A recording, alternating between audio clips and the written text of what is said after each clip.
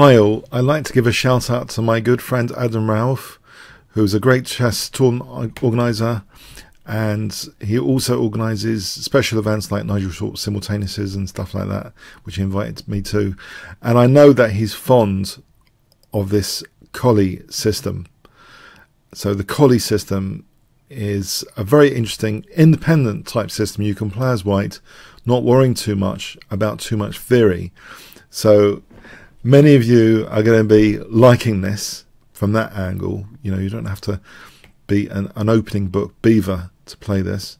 So this is Leela ID triple one nine five playing against Stockfish eight, teaching us how to play the Colle system. The opening book given knight f3, knight f6, d4, d5, e3. You might think e3 blocking in the bishop. What's this? Isn't this just passive? Well, black uh, played this as well to keep. It's got some perks to keep solid because sometimes the bishop goes to b7 and tries to lock down e4. c3, c5, bishop d3. And you might think, hang on, the Colle system is a bit like the London system without a bishop outside the pawn chain. You could say that. b6 is the end of the book in this game. We have now Leela not castling, playing knight bd2. Very important, not castling. Now there's a little trap here you should be aware of. Not bishop a6, uh, because bishop takes a6, and then queen a4 check, and you've lost a piece. So be aware of that with black, if you're going to play like this with black. Bishop b7, so carrying on that idea, trying to lock down e4. Now Leela doesn't castle here. Queen e2. Yeah, queen e2. So we have bishop e7. And now again not castling, just playing e4. Now black, Stockfish 8, castled. Put this into Stockfish 9. Castling's not in there as one of the top like seven choices. It simply doesn't like castling. So why would that be? So if black didn't castle, there are numerous options. Well, at least two uh, or three, which seem to promise equality here. For example, taking this position uh, should be fine. Note that white has also castled there. Uh, knight c6 should be fine here because black hasn't castled and can prepare bishop a6. Pawns on dark squares, you might want to get rid of that bishop, and this should be fine.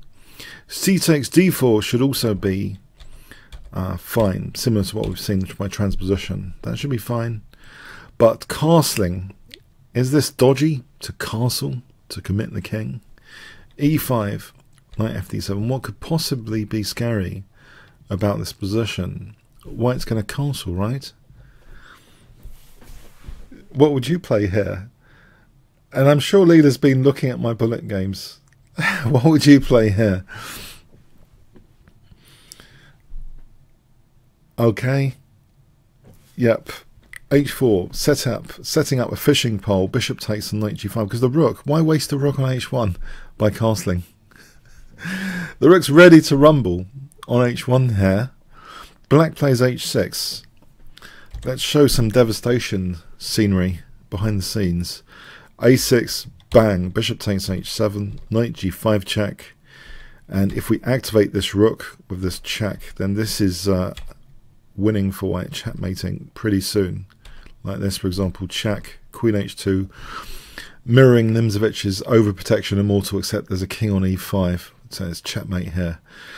So that's one variation. And also on king g6, queen d3 check, then there's e takes check, and then h5 threatens queen g6 checkmating here to defend against queen g6. But again, this is the king getting mated basically. Knight b1 check, undeveloping the knight, is a checkmate there. So then there's some nice scenery behind the scenes here uh, on this Greek gift. Yeah, this Greek gift. And you might think, okay, so h6 was played. Hold on a sec. Uh, what about f6?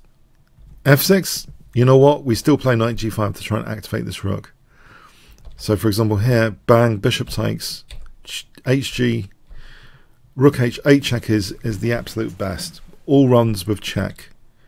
Check, check, g6, sealing the mating net, taking, and then we're just going to mate, forget the rook, just checkmate. So, beautiful stuff. And by the way, here, we don't let the king escape anywhere, check, uh, check. Well, this is going to be mating anyway, for example. So, horrific stuff already. Uh, and you might think, hold on a sec, okay, after knight g5, uh, sorry, f6, yeah, knight g5, yeah, that's that's pretty scary. So anyway, h4, we have h6 being played. So not allowing bishop h7 check. Well, it's, it's fairly pointless there uh, because here we don't have to activate the rook, we just step back and this should be okay for black. Here we can maybe snap this off or g6 maybe. So yeah, so h6 seems like a, a sane move. So how can this be justified not castling here? What does white play now in this position? I mean, it it's anti-positional, isn't it? One should be playing in a positional manner. This is this is uh, too much entertainment. The Russians wouldn't approve, would they? Well, actually, there is a move here. Uh, rook h3, just activating the rook like this, and it's the king's just uh, a sitting target here, and we've got this nice central pawn wedge. Why not? Why not? If you can get away with it, why not? a5, trying to exchange off the light square bishops. Positional. Rook g3, it's met with an attacking move, direct attacking move. Forget about the h pawn. That's irrelevant, surely. Now, actually, black took the h pawn because engines are greedy, and if they take pawns, they can't see a refutation, then they take them. It doesn't matter about long term opening of lines, they just take them. So if knight c6 Knight f1 threatens bishop takes h6. And here, there's a beautiful line. Bang, bishop takes anyway, queen d2. And there's really no defense, really. This is breaking uh, black down. Knight g5 here, crushing. This is breaking black down. This is another beautiful uh, line here. And if you're wondering about this line, there's also, by the way, on, on rook f8. I have to show you this. What can white play here? There's a really stunning mating, forced mate here, by the way. I just have to show you this variation. Five seconds, what would you play with white? Okay. Queen takes h6 check. I love the attacking positions. Yeah. Doesn't matter about whatever else is going on in the world. If you've got an attacking position analyze it, block out all the sounds, block out everything else. It's your responsibility as an attacking player to make sure you find the fantastic resources that exist in attacking positions. Okay, so here, G7 check, check, here is, is mating. It's uh, going to be mating, check, and checkmate. Beautiful. So rook g3 anyway. So bishop takes h4 rook h3, bishop e7, knight f1. So the open line, we can now hit h6. We have rook e8.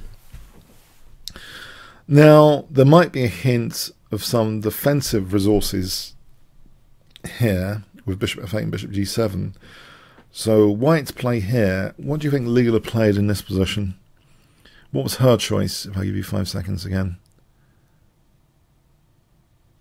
Okay, she doesn't actually immediately take on h6. It's possible that there's a bit more resistance here uh, in this line with bishop f8. There might be. Uh, so, in fact, we have the slower knight 1 to h2 to go to g4 to hit h6. c takes. Forget recapturing, just knight g4. Lovely stuff. Recapturing is also strong, though. Um, it's a very, very strong position. Uh, just just to show, say black does this positional exchange of bishops, bang, bang, and it's just crashing through basically. This this sort of attack is crashing through in any case, even if yeah, it's just going to be uh, much better for white the exchange up. But uh, no, Leela goes for it. You, every little tempo counts. As, Tef, as Tesco doesn't say, they say every little bit helps. So bishop a6 is played. We have now knight takes h6 check. Bishop takes here. And there's a big difference. Knight takes d4. This unveils the queen's diagonal here. Knight f8. We have bishop takes h6 knight g6 and the queen can glide to h5 with big big threats we have bishop h4 in kind of desperation mode to try and fend off this attack. If bishop f8 bishop g5 with the idea bishop f6 queen h8 exists. So for example here or, or checkmate there more simply more simply checkmate there actually. Uh, if bishop e7 here then check, and then mate there. So yeah, our bishop h4 is, yeah, there's not really much to do here, bishop f8, bishop, there's not really much to do. So uh, yeah, we have bishop h4, but Leela just builds up now, casting queenside. It's going to have this tower of power, as one YouTuber described recently. Let me know your name in the comments. Tower of power. You've seen, we've seen multiple times, not just thorn pawns actually. There's other elements of Leela's play, and one element, which is extremely recurring actually, is when she trebles the two rooks and the queen. It doesn't have to be Alekhine's gun, it could be variations on Alekhine's gun. The queen in Alekhine's gun is at the base and the two rooks in front. But here, this tower of power is blasting through that H file. So knight c5, the tower of power is set up. Not the thorn pawn, the tower of power, let's call it. Queen c7, hitting e5. Leader actually takes time to protect that. The problem with losing e5, the queen could bounce back to g7. So if we took on h4, there could be a little bit of a nuisance taking on e5. But even so, this is absolutely winning for white. Big advantage to white. But no, why not just protect the pawn, save that hassle. Knight e4. Now the tower of power blasts through the h file. Rook takes h4. We have knight g3 hitting the queen. If knight takes h4, rook takes, queen e7, check, and this is just mating. This is absolutely like check mating, as one would expect. So knight g3, we have queen g5, threatening queen f6. Knight e4 stops queen f6. Yeah, because if knight takes h1, then queen f6. And then what is black going to do about queen g7? It's to give up the queen, stave off, checkmate for a moment nothing else. So knight e4, queen h5, knight g3. Now queen g4, and black plays knight takes h1. After rook takes h1, there's still big threats in the position, as you might expect. This bishop, which we've seen in many Leela games, can go to f6 to cut the king's escape away. We see rook ec8. Uh, also, the queen can also come in with a vengeance. Queen g5 potentially is on with Queen f6 as well. But uh, King b1 is played here. Queen g5 immediately actually runs into Queen e7 to be fair. But even this position, you know, black's not really doing anything. And we can just arrange bishop g5 to f6. So the threat here is rook h8 checkmate because the knight's pinned. And if here, then again, check. Look at that bishop controlling escape squares.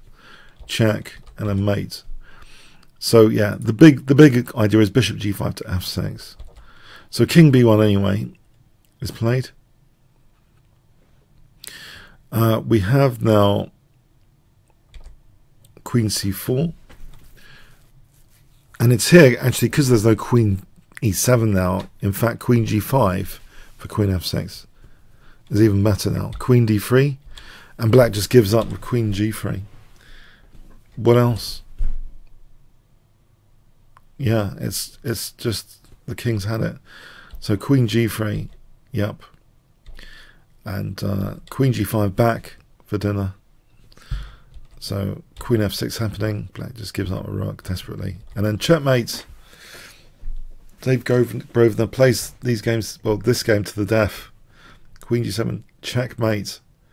So Stockfish 8 slaughtered from the Colle system a favourite of Adam Ralph, fantastic UK chess organiser. If you want to play tournaments in the UK, check him out, look him up, find out what tournaments uh, is being organised. Uh, so uh, the great Hendon Chess Club, check him out. And uh, yeah, tribute to him. I hope he likes this. Uh, comments, questions, like, shares appreciated. Thanks very much.